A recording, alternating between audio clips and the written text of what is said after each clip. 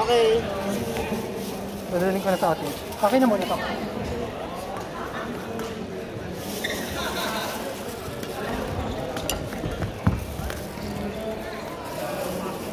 Dapat naghanap ka ng bagong rangita.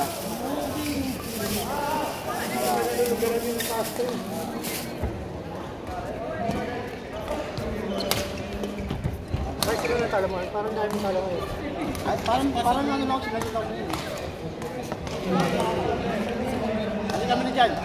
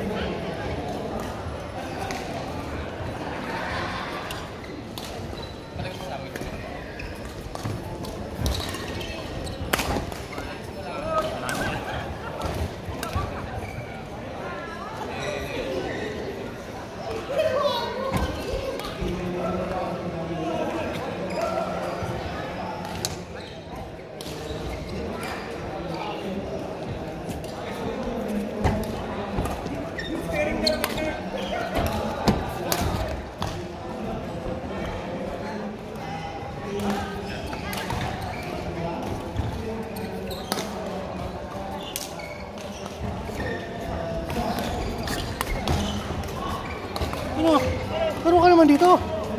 Hindi pa. Ano naman eh. Kita ka nagdito ka pa. Ano naman? Para masabi ka. Tawag naman ko doon. Gusto sa mga basis lang. Ano naman yan? Pangani siyang hinapa. Siya na si Madiris mo. Si Madiris. Dito si Madiris.